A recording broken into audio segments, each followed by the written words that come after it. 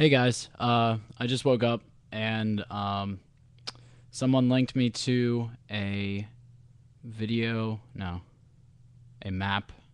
Wow, my brain is not really with it. Um, someone linked me to a map in Portal 2 that they want me to try out. It's another, uh, I guess, PETI is, is how you pronounce P E T I, the training thing. Um, so they want me to try it out. It's like for pro players only thing. So I'm gonna try that out. And um, oh, another thing that I wanted to say is that I finally have gotten over my Diablo 3 addiction. So I should be doing, hopefully, going back to the Portal stuff I was doing before. But I have something else that I'm playing right now. Um, someone linked me to uh, what is his name? Ballacaust. Uh, he linked me to uh, three different links that remove all of the post processing and the weird coloring and the blurring and stuff in Counter Strike Go.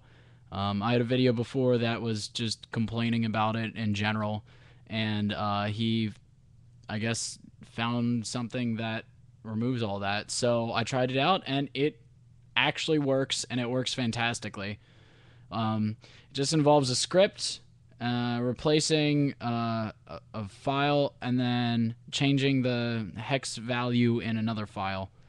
Um, I don't I don't know if it's VAC legal or anything. I have no idea. Um, I'm just trying it out. I haven't gone into a server yet that has like been like, oh, we're SV pure and you can't do this. So uh, I don't know. It works freaking awesome. Like the game should just have those options in it. I don't know why it doesn't, but anyway, so I'm going to be uh, live streaming right now, and I'm also going to put uh, the links to that CS:GO stuff in the uh, in the description below. So check that out, um, and check me out on live stream for I don't know the next hour or more. So, all right, I'll see you guys around.